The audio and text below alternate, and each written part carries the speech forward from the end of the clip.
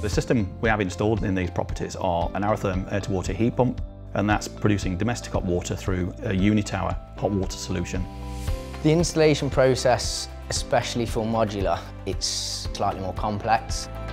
One of the main differences is that you have to get a pipework run to the outside of the property. So in this instance, it's the rear garden.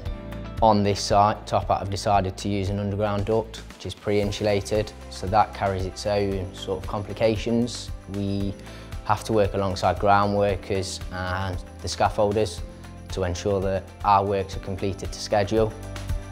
Vaillant provided in-house training. I went to the Vaillant factory in Belper and they talked us through installation commissioning of the aroTHERM Plus and the Unitower and also how to set up the sensoCOMFORT in the most efficient way to use the heat pump.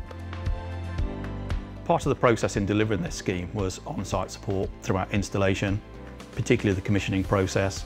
So Vaillant were on hand with Top Hat to make sure the systems were fully commissioned properly and also that the controllers were set up correctly for the end users to be able to operate them. I wanted to be part of something that is making a change and something that is going to be the future. Actually coming down on site when a site's completed, to the quality that this is, I'm proud to have been involved in this type of scheme.